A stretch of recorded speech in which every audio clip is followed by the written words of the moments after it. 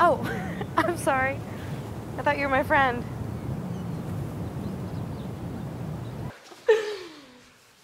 Are you gonna tell me or not? Can you come back, please? Give me one good reason. The best you can think of. Let go!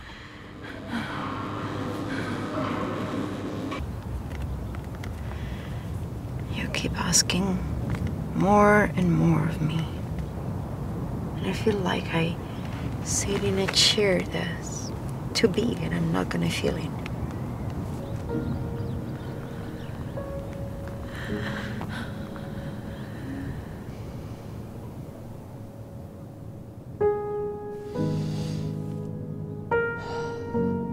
Warden.